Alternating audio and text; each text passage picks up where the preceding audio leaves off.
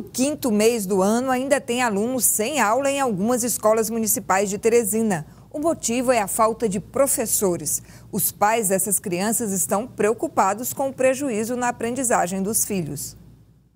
Na última terça-feira, mostramos aqui na TV Cidade Verde a reclamação de mães de alunos da Rede Municipal de Ensino de Teresina, envolvendo a falta de professores. Os filhos da Sabrina e de Namara estudam na Escola Municipal Jornalista João Emílio Falcão, localizada na zona sul da capital. Eles não assistem aulas online desde o dia 24 de março. Enquanto isso, a gente fica à mercê do que a gente entende, né?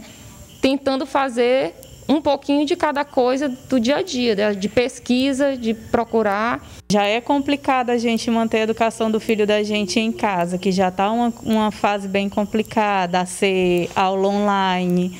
E a falta de professor para dar aquela assistência, para dar aquele encaminhamento para a gente estar tá fazendo atividade, estar tá treinando, tentando pôr aquela atividade com os filhos da gente em dias, é mais difícil ainda. Segundo a diretora da escola, os alunos estão sem aulas apenas em uma turma, a do primeiro ano do ensino fundamental. É a turma 11BM. Essa turma é uma turma nova. Por que, que essa turma foi aberta esse ano? Essa turma ela foi aberta para atender a demanda dos alunos de primeiro ano, certo?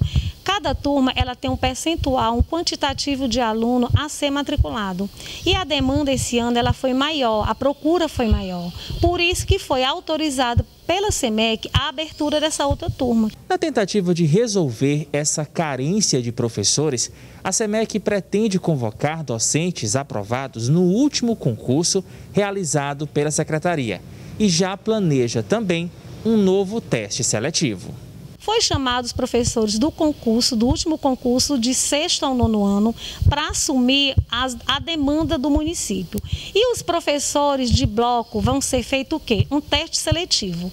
Esse teste seletivo ele já foi autorizado pela Procuradoria do município. Então, os trâmites do teste seletivo eles já vão começar a acontecer a partir da próxima semana.